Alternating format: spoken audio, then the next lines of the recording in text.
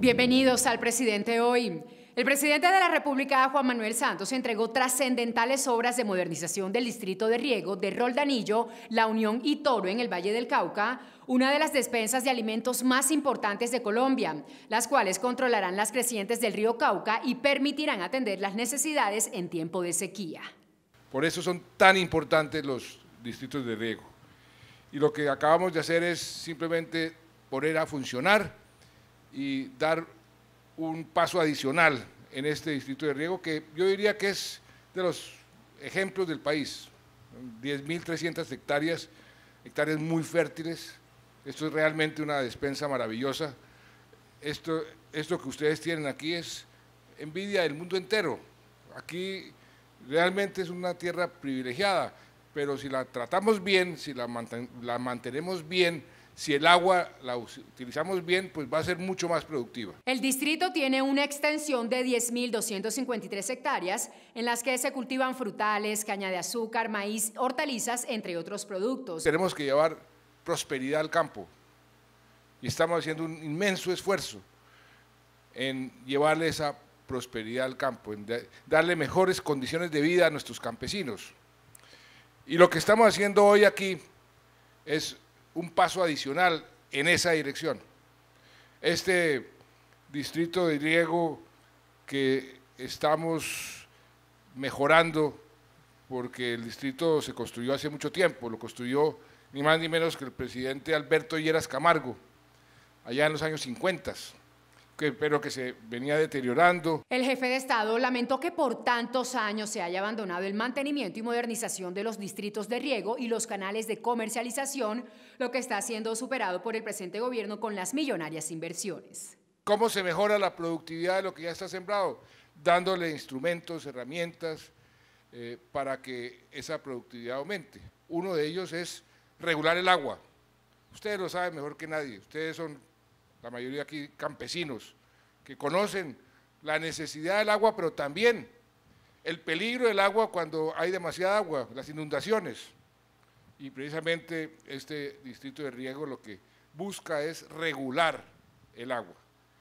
Eh, y le hemos invertido 45 mil millones de pesos en las diferentes obras para que este río, el río Cauca, cuando crezca, no inunde todos esos territorios que están sembrados y que la inundación viene y acaba con las cosechas.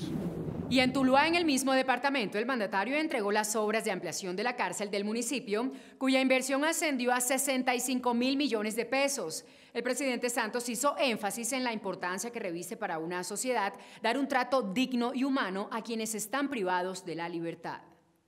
Esto obedece a una política deliberada del gobierno en donde para nosotros en materia de derechos humanos no debe haber diferencias de ninguna índole, inclusive las personas privadas de su libertad se les debe respetar sus derechos, derechos humanos, y por eso estamos en esta política para ir reduciendo el hacinamiento en que se encuentran nuestras cárceles. El jefe de Estado informó que 300 mil millones de pesos han sido invertidos desde 2014 en infraestructura carcelaria en el país y que están en proceso de construcción las nuevas cárceles en Pereira y Sabanas de San Ángel en Magdalena.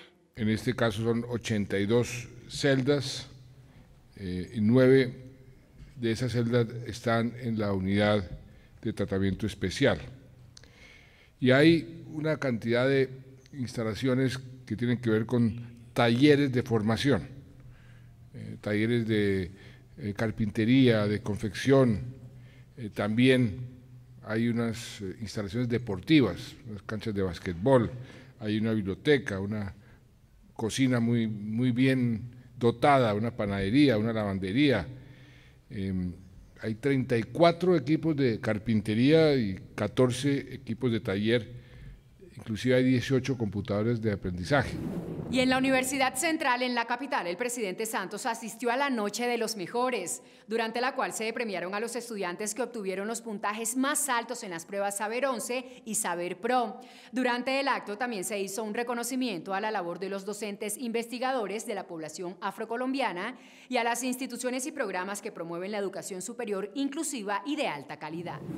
Inversiones por más de 6 mil millones de pesos para la instalación de fuentes públicas de agua en La Guajira, como parte de los compromisos para el apoyo en el acceso de agua potable de las comunidades indígenas Guayú, anunció el gobierno nacional. Y precisamente esa es la cifra que destacamos hoy, porque en Manaure se instalarán seis pilas públicas de agua que beneficiarán a 12.000 indígenas. En ese proyecto se invertirán 3.500 millones de pesos y se financiará con recursos del crédito del BID y está en proceso de adjudicación. Por otra parte, en Maicao se instalarán cuatro pilas públicas que beneficiarán a 7.000 indígenas y la inversión será de 3.175 millones de pesos.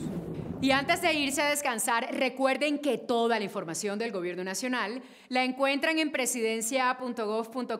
Hagamos parte de la misma conversación y síganos en nuestras redes sociales que aparecen en pantalla. Nos vemos mañana con más del Presidente Hoy.